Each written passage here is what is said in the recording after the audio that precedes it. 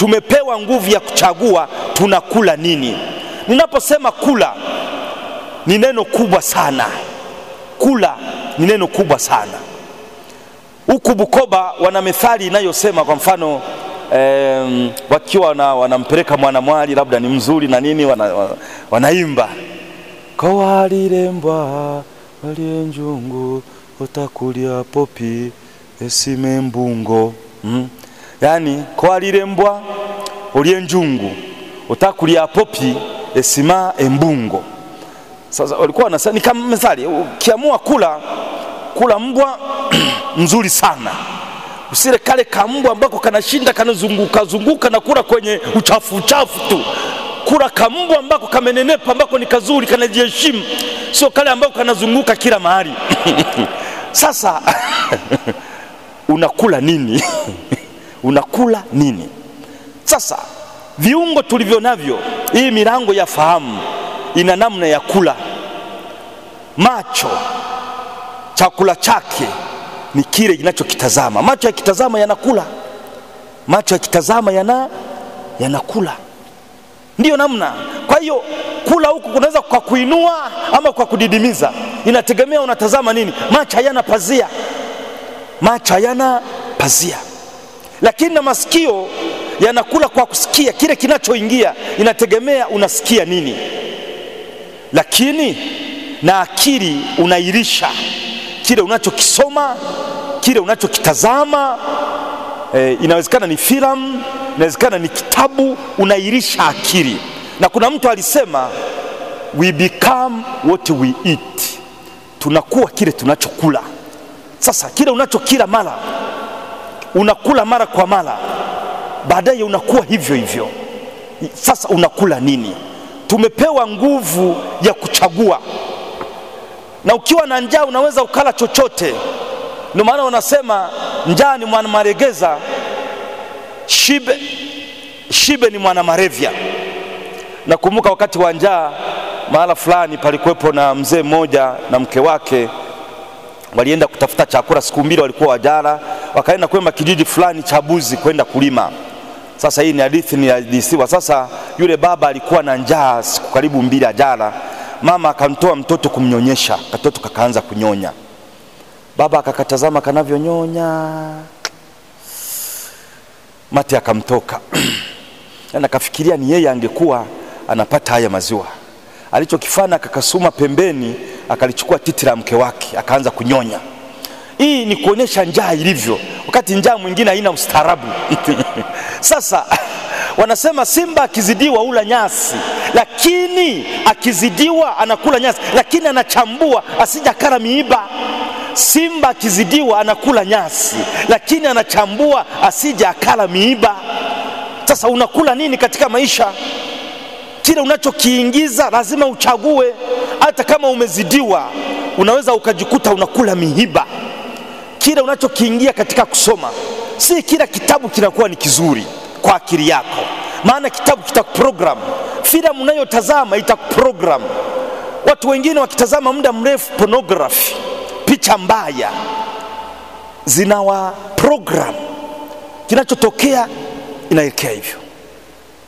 Mtakatifu Goreti alichomwa visu kumi na viwili na aliyemchoma alitaka kumfanyia tendo baya,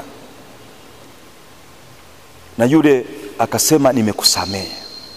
Wakati wanamtangaza mtakatifu, huyu alikuwa bado ai na alijuta sana, lakini baada ya kupeleleza alikuwa anatazama picha mbaya, alikuwa anatazama picha mbaya zikampelekea kutenda mabaya. Kwa hiyo maana tumepewa nguvu ya kuchagua, unatazama nini, unakula nini, na kutazama ni namna fulani ya kulisha macho hiyo. E, nguvu inaweza ikakusaidia kushinda ama kushindwa. Hiyo nguvu ya kuchagua itusaidie katika maisha e, sasa ningependa ningependa nimalizie hii pati ya kushindwa ni baraka katika sura ya Baraa.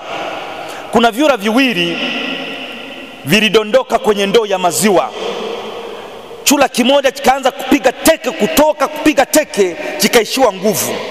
kikasema mimi kwa kweli na salimu amri, chura kikadondoka chini. Kingine kikaendelea kupiga mateke, kupiga mateke, kupiga mateke, kujaribu kuruka.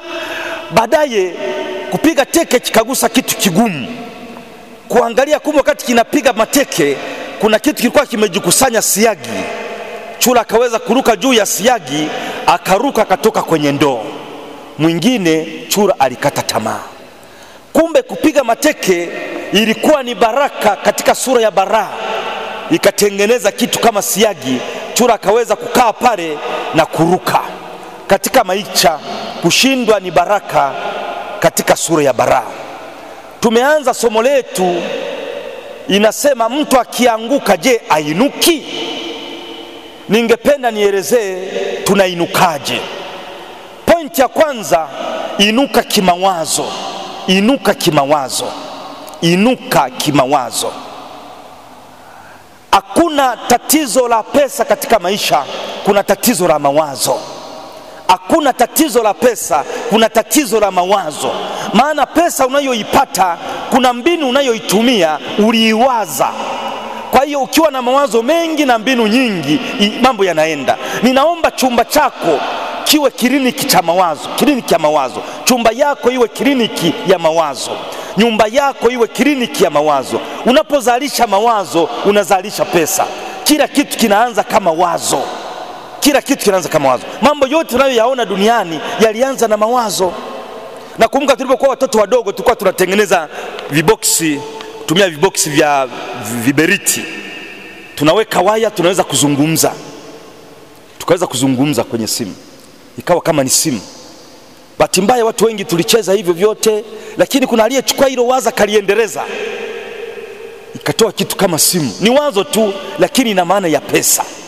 Kwa hiyo inuka kimawazo, ili mtu ambaye ameshindwa, unapata wazo, kwa nini nimeshindwa? Inuka kimawazo, jiwazie kuinuka, kwa sababu maisha ni mwangi, unachokiwaza kinakurudia.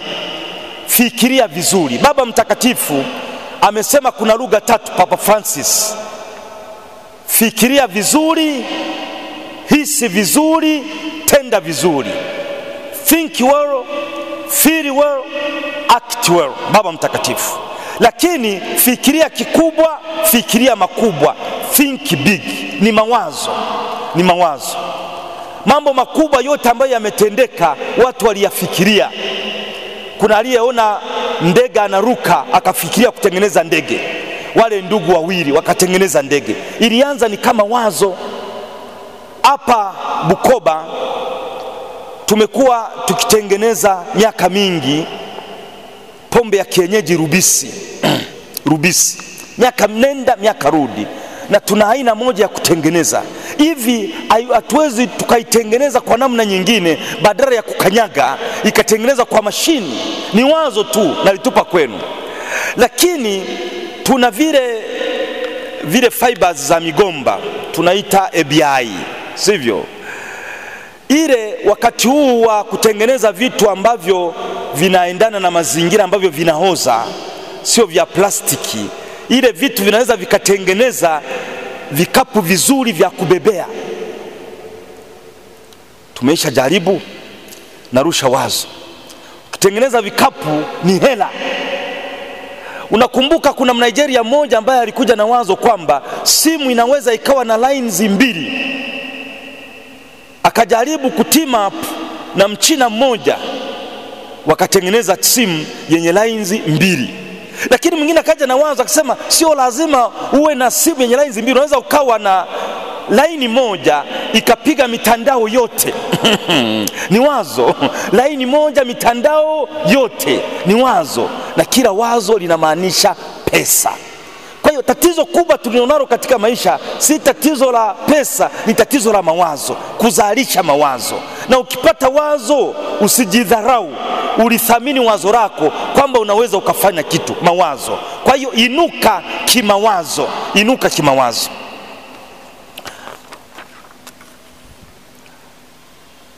Katika kitabu cha Napoleon Hill alifanya utafiti kwa watu wengi sana na kuwaoji milionea mia tano akitaka kujua siri ya mafanikio. na siri aliyoigundua naweza nikaisummarize kwa sentensi moja: unavyofikiria ndivyo utakavyokuwa. Naomba tuseme unavyofikiria ndivyo utakavyokuwa. Turudie tena, unavyofikiria ndivyo utakavyokuwa. Ukifikiria umepigika, utapigika. Ukifikiria unaweza, utaweza. Ukifikiria siwezi, utaweza. Unavyofikiria ndivyo utakavyokuwa. Niliwaambia wengine, nilipokuwa mtoto mdogo nilifikiria kuwa padri, of course na wito wa Mwenyezi Mungu, lakini nilifikiria, nikawa nachukua kitenge cha mama nakitengeneza kama vazi hili, navaa na katakata eh, sweet banana kama ostia, namwambia kaka yangu, utakuwa Mkristo, mimi nakukomunisha. Kwa hiyo namkomunisha mwili wa Kristo, anasema amina. Sikutaka hata mara moja yeye awe padri anikomunishe nitaka yeye abaki akiwa Mkristo, mimi namkomunisha. Nikiwa mdogo niliwaza hilo, nikalifikiria, na mwisho wa siku nimekuwa padri. Nataka kusema unavyofikiria ndivyo utakavyokuwa, unavyofikiria ndivyo utakavyokuwa. Chochote ulichonacho ulikifikiria, kazi ulionayo uliifikiria, biashara ulionayo uliifikiria, mme ulionayo uli... mm, mm, mm, mke ulionayo. Mke ulionayo ulimfikiria lakini hata nawe mwanamke mme ulionayo ulimfikiria, kwa sababu ulikuwa na picha fulani ya mtu unayemtaka na akaja wa namna hiyo, ukasema huyu ndiye nyentiniwe wotita kusaine. Ulimfikiria, ulimfikiria. Kwa hiyo unavyofikiria ndivyo utakavyokuwa. Inuka kimawazo, inuka kimawazo. Jambo la pili katika maisha, chochote unachokitaka kufanya usisitesite. Jambo ambalo linatuweka pembeni, linatufanya tushindwe ni kusitasita. Inuka usitasita. Ndio maana Zaburi ya mia kumi na tisa mstari wa mia kumi na tatu unasema watu wa kusitasita na wachukia, watu wa kusitasita na wachukia. Zaburi ya mia kumi na tisa mstari wa mia kumi na tatu Niliwahi kusema hili, kuna mtu amekuja kwangu kaniambia, akasema, Father, uliwahi kuongelea hili neno la kusitasita, nikalitafakari nimeanzisha biashara fulani ambayo nimesita miaka mitatu kuifanya, na kushukuruni sana. Naomba na wewe unayenisikiliza, huenda kuna kitu ambacho umesitasita kukifanya, unangoja wakati mwafaka, unangoja uwe na, na kipato cha kutosha. Ngoja nikwambie, huenda wakati mwafaka utaupata. Wewe anza, hata kama mambo hayako mwafaka, kama wakati sio mwafaka, wewe anza kungoja mambo yako yawe perfect. Utakuta jirani yako ameanzisha kile ulichotaka kukianzisha. Ni kama hata mtoto darasani, mwalimu anauliza mbili mara mbili katika fizikia ni ngapi? Katoto kana sita sita, huenda katika fizikia ni kitu kingine. Mbili mara mbili huenda sio nne, kana sita sita lakini kanapo sita sita hivyo, mwingine anainua mkono anasema ni nne. Sema mwalimu, nilikuwa najibu hilo hilo, sasa mbona umesita sita? Na mtu anaanzisha kitu anasema ndo nitaka kuanzisha, lakini mbona umesitasita? Ndio maana Biblia inasema watu wa kusitasita na wachukia. Biblia haijasema watu wa kusitasita na wapenda, watu wa kusitasita na waongea vizuri, watu wa kusitasita ni rafiki zangu. Inasema watu wa kusitasita na wachukia. Kwa nini sasa unasitasita? Kwa nini unasitasita? Kwa nini unasitasita? Ni kama chumba moja, vyumba vilikuwa na wanaume, vilikuwa na wanaume Ukishachagua, ukichagua basi inatosha. Ukiona waapa wakufai unaenda chumba kingine, shari turudi nyuma. Mwanamsichana kaanza kuangalia, wanaume walioko humu ni warefu, ni wazuri wa sura. Okay, ngoja niangalie huku. Wanaume walioko humu ni watu wa wastani, ni watanashati, wamesoma. Ngoja niende nani, watu wa humu familia zao ni familia kubwa na nini akasema ngoja niende kwingine. Kwenda kwingine wakasema sorry, chumba hiki hakina mtu kumbe angechagua huku huku. Wakati mwingine msichana namngojea Mr. Perfect, Mr. Perfect mm. Mm. Anaanza kuuliza maswali ehe, kwenu mkoje huko jamaa zako, ndugu zako, shangazi yako, mjomba wako ah. Ah, yule ah, okay. Ah, manager yule okay. Ah, sawa. Hayo yanakuhusu nini? Shangazi mtegemea cha nduguye ufa wali maskini, au ndugu zake wanakuhusu nini? we chagua mtu. Sasa. Una sita unapo sita na saa ya kibiolojia inatiki. Ishirini na tatu. Ishirini na nne. Ishirini na tano. Thelathini. Thelathini na tano. Arobaini. Eh, eh, eh, nimeanza kukua eh. Eh. Lakini walikuja wachumbiaji wazuri ambao walikuwa serious, ukasema ngoja kidogo, bado niko mdogo, lakini saa kibarojia inatiki, wewe una sita sita. Maana Biblia inasema watu wa kusita sita na wachukia, kwa sababu fursa zinaondoka, kwa sababu chances zinaendelea kuwa chache, mambo yanabadilika. Eh. Fursa watu usisitesite. Pointi ya tatu, simama imara. Nimesema inuka, unapoinuka simama. Hapa kuna mambo matatu ni niyataje. Simama imara, yani kuwa na msimamo, lakini msimamo sio hoja. Hoja umesimamia wapi? Kwa sababu na majambazi yana msimamo, majambazi yana misimamo katika shughuli zao. Hoja umesimamia wapi? Unaposimama simama. Kuna mtu aliuliza siri ya mafanikio, wakamwambia siri ya mafanikio ni hii: ninaposimama nasimama, ninapokaa na kaa, ninapotembea natembea, ninapokula na kula. Wakasema hapo kuna siri gani? Si kila mtu anafanya hivyo? Akasema hapana, hapana, hapana. Wewe unaposimama, wakati umesimama unafikiria kukaa unapokuwa umekaa unafikiria kutembea, unapokula unakula mawazo yako kwingine, unafikiria kumaliza kwenda kupiga simu. Akasema fanya kile unachofanya, na hapa ndipo tunafanya tunachofanya. Unaona, tumekuja hapa tunasikiliza, sivyo? Nafikiri hakuna anayefikiria nikitoka hapa naenda wapi. Yaani unaposimama simama, simama, inuka, simama, kuwa na msimamo, lakini simama. Jambo la tatu kuwa na uhai. Usife umesimama kama mgomba, usife umesimama kama gari. Waya wanasema utafoyemereire nkengemu utafoyemereire nkemotoka, yaani mtu amesimama lakini basi. Ni kama kuna mtu ali, alikufa. Wakati wanamzika, akasema jamani, tumempoteza huyu mtu, lakini akasema hatukumpoteza leo. Alikufa miaka mitatu iliyopita. Sema una maana gani? Sema alishakufa, maana akuwa na ndoto, akuwa na chochote anachokifanya. Anasema si kwamba tumemzika leo, alikufa miaka mitatu iliyopita. Yani akuwa na ndoto yoyote, akuwa anajishughulisha na chochote, yani anatembea, lakini alishakufa. Sasa ninaposema utafa utafa nkemotoke yemereire utafa mkenge, ukimaliza kukata mgomba, kisiki kimesimama, kimesimama lakini hakina uhai. Tembea kwa imani. Martin Luther King alisema lazima upae. Kama huwezi kupaa, kimbia. Kama huwezi kukimbia, tembea. Kama huwezi kutembea, tambaa, lakini kwa njia yoyote, keep moving.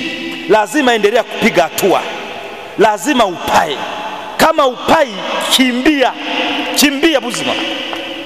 Kama ukimbii wala utembea, kama utembei ninge demonstrate lakini nashindwa, wala utambaa tambaa, ili mradi kuna kitu unaenda mbele, kuna kitu unaenda mbele. Umeanzisha kioski. Kilikuwa na chanja tano. Eh?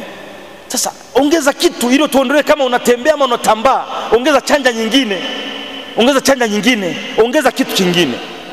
Unajua, mtu anapokuja kununua kitu dukani anaweza kataka kununua vitu vitatu. Sasa anaanza na kimoja. Una kalamu? Unasema sina. Ah. Anaenda kioski kingine. Una kalamu? Anasema ninayo. Aha, sawa sawa. Una, una na sukari? Eh, ninayo. una chumvi? Eh, niongezea. Una mafuta ya uto? Ninayo. Lakini na hivi vingine, huyu alikosa nini? Kalamu.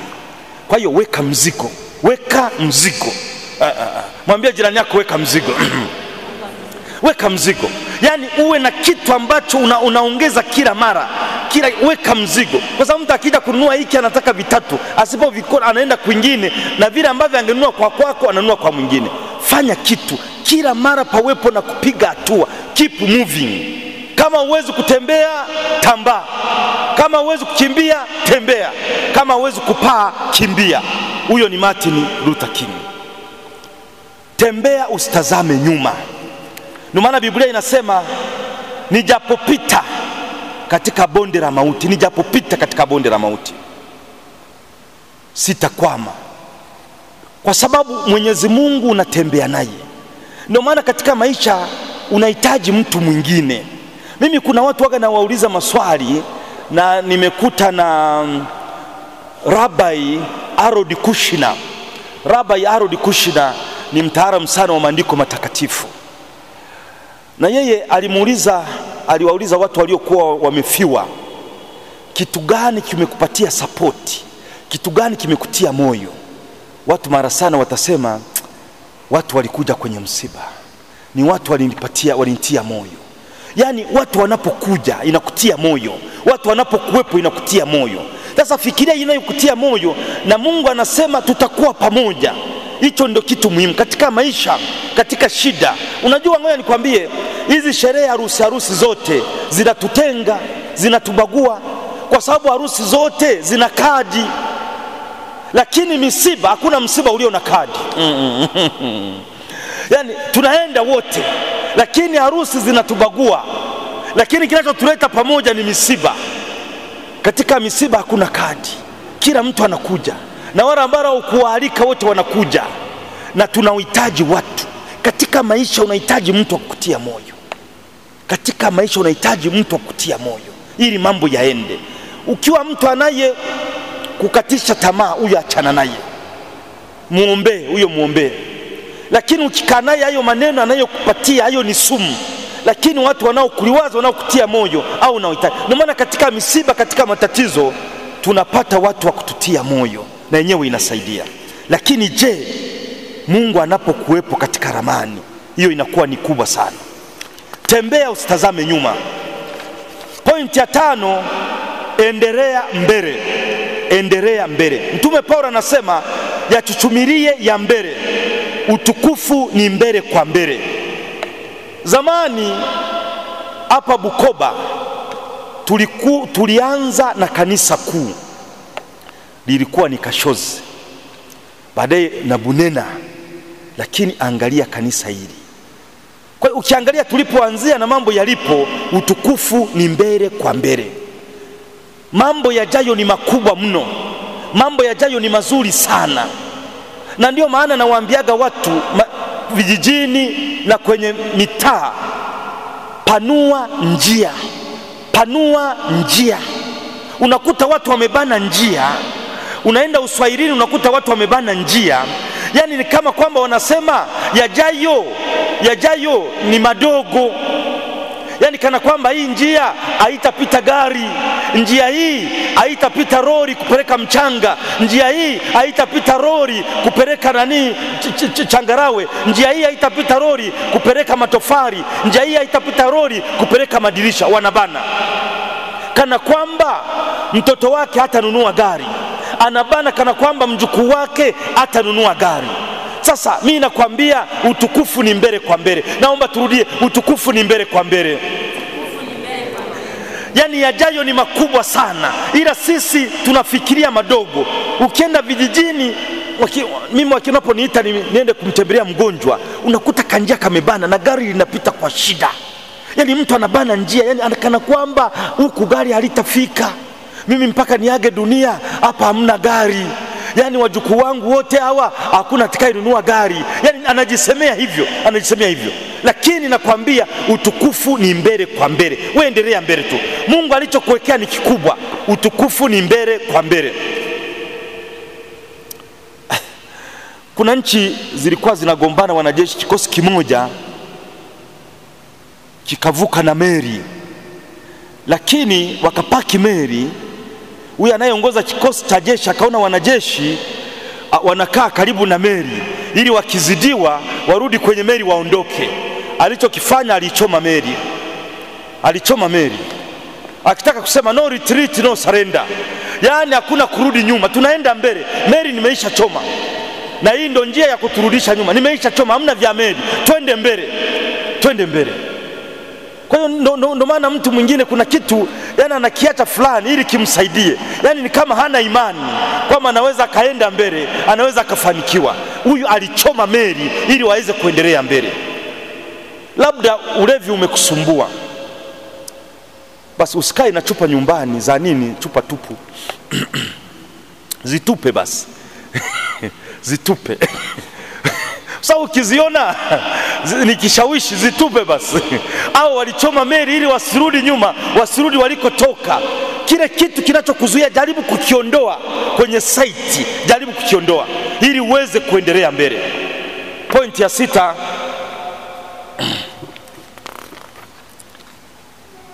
unapoinuka nenda maili moja zaidi, nenda maili moja zaidi. Ndio maana Yesu alituambia ukiomba kwenda maili moja nenda maili moja zaidi. Ukitaka kufanikiwa katika ofisi, katika shughuli ulizoajiriwa, useme hii si kazi yangu.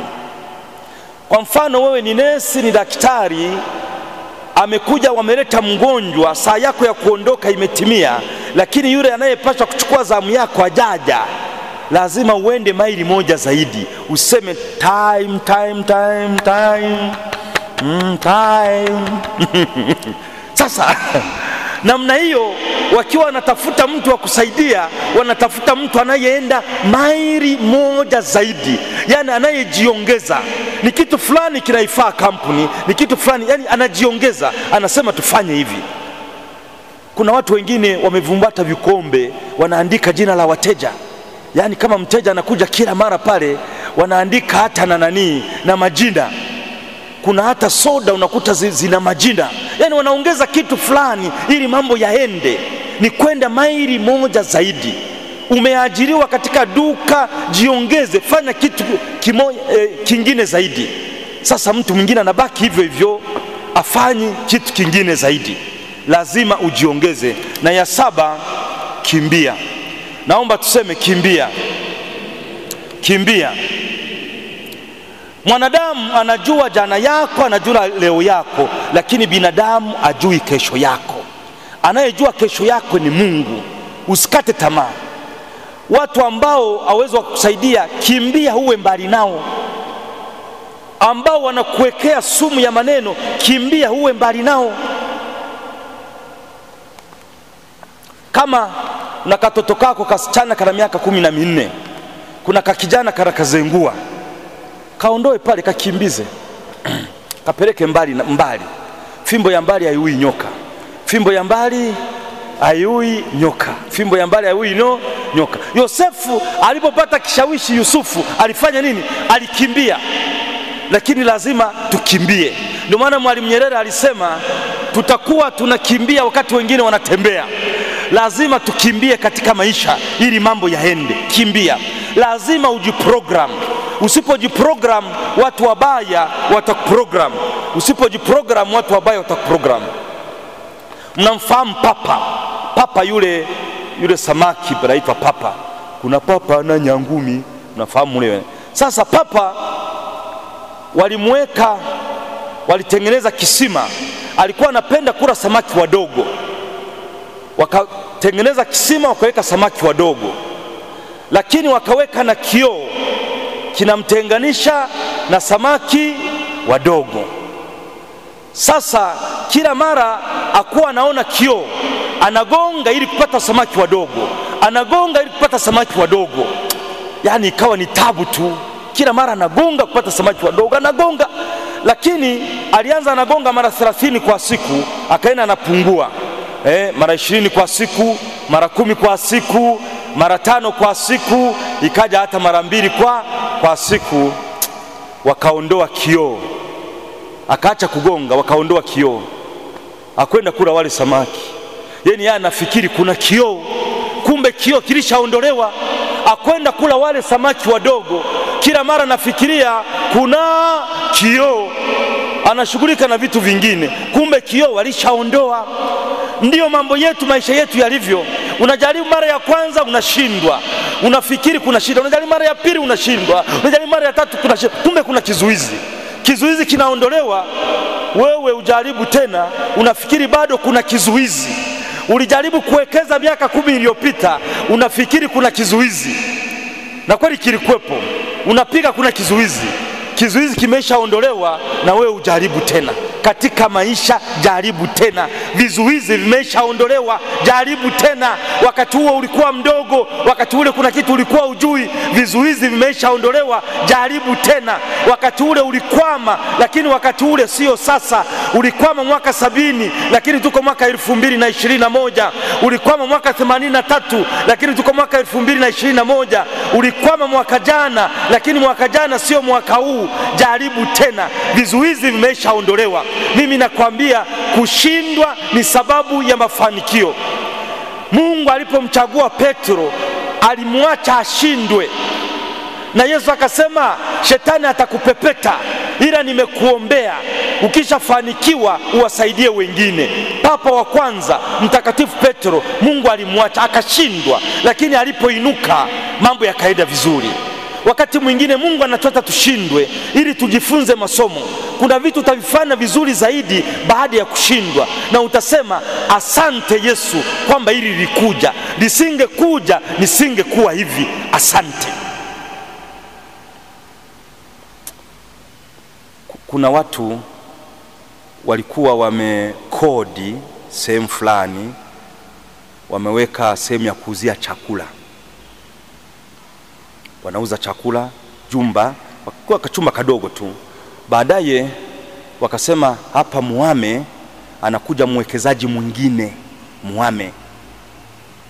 E, walikuwa hapo, sisi tawataja majina, walikuwa sehemu ya kule. Wakahamia hapa.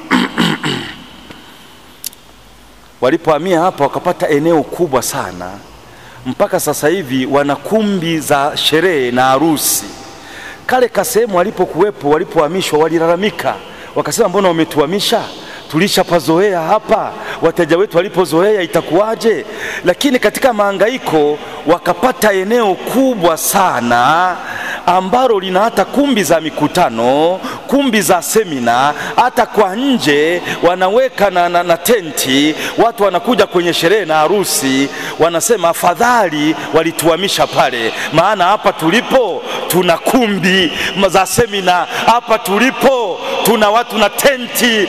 Kule walikuwa wana, wa, wa, walikasirika, kwa nini tumehama hapa? Kwa nini wametuhamisha hapa? Lakini wakati mwingine Mungu analeta hilo ili kukuandalia lililo zuri zaidi. E, utukufu ni mbele kwa mbele. Kuna ndege mmoja alikuwa amezoea kamti kake, kamti kamoja tu kako kwenye upepo kana nini, baadaye mwenye ule mti akaukata, kandege kakaangaika. Kumbe katika kuangaika kakafika kwenye msitu, kalikuwa kajawahi kufika kwenye msitu, kakasema afadhali ule mti ulikatwa, maana nisingefika kwenye huu msitu. Ndo hayo maisha yanayotokea. Mimi sijui ambayo yanaendelea katika familia yako, katika maisha yako, lakini hayo hayo umeshindwa hapa na pale, lakini Mungu anakuandaa, mafanikio yako yako mbele. Naomba tumpatie Mungu utukufu kwa makofi makubwa. Kushindwa ni sababu ya kushinda, kushindwa ni sababu ya mafanikio. Hata magari tunayoyaendesha kuna vitu hayakuwa navyo, labda hayakuwa na vioo vya pembeni baadaye baada ya kugonga na ajali kusema kwani tusiweke hiki kitu? Baadaye una hiyo milango haikuwa ina ikifunga imefungwa, lakini kuna mlango wa dereva unaweza ukajifunga ukabaki tu umeegeshewa, pakitokea ajali wanakuwa zaidi kutoa. Kwa hiyo wakawa wanavumbua kadiri walivyokuwa wanashindwa, wakatengeneza kitu kizuri na gari zuri, lakini mpaka tumefikia hapo, pamekuwepo na kushindwa. Tuna mafanikio kwa sababu kuna wengine wameshindwa. Mimi naomba licha wewe kushindwa, uwezi ukangoja kujifunza na kushindwa kote. Naomba jifunze kwa makosa ya wengine, jifunze kwa kushindwa kwa wengine, maana hekima inaongea. Unaweza ukajiuliza, umeolewa, unajiuliza nitaishije? Nitaishije? Jifunze kwa walioolewa, jifunze kwa walioachika kwa sababu Mungu ameweka giza kutuelezea umuhimu wa mwanga.